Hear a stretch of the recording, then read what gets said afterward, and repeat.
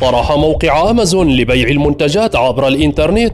رواية رومانسية نسبت للرئيس العراقي الراحل صدام حسين وهي بعنوان زبيبة والملك. وأشار الموقع إلى أن هذه الرواية الرومانسية كتبها الرئيس العراقي الراحل صدام حسين عام 2000 وهي ضمن أربعة روايات أخرى نسبت إلى الرئيس صدام حسين كان أولها بعنوان زبيبة والملك. وتحكي هذه الرواية المؤلفة من 160 صفحة قصة حب غير حقيقية حدثت منذ آلاف السنين. وتدور قصتها بين ملك عراقي يرمز إلى صدام نفسه وقروية تدعى زبيبة. وخلال زياراتها الليلية إلى قصر الملك تتحدث معه لساعات طويلة عن الدين والحب والقومية وإرادة الشعب. وأما الرواية الثانية فكانت بعنوان القلعة الحصينة.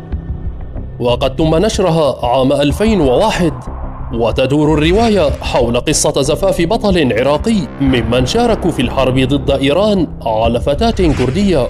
وكيف أن هذا البطل جرح في الحرب وأخذ أسيرا ومن ثم يتمكن من الفرار مع عدد من الأصدقاء. وأما الرواية الثالثة فكان عنوانها رجال ومدينة.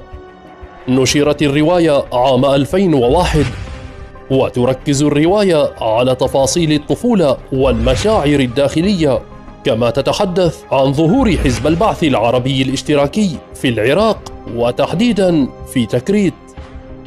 وأما الرواية الرابعة فكانت بعنوان إخرج منها يا ملعون وهي آخر روايات الرئيس العراقي الأسبق ونشرت قبل دخول القوات الأمريكية للعراق عام 2003 وتدور أحداث الرواية حول شخصيتي حسقيل حزقيال وابنة القبيلة نخوة. وكيف استطاع حزقيال الوصول لمشيخة القبيلة بطريقة خبيثة والإستيلاء على أرزاقهم؟ وكيف استطاعت نخوة كشف ألاعيبه الخبيثة وتمكنت وأهلها من القضاء عليه في معركة حاسمة خاضوها مع حزقيال ومن ورائه من الروم الداعمين له فماذا عنك؟ هل قرأت واحدة من تلك الروايات المذكورة؟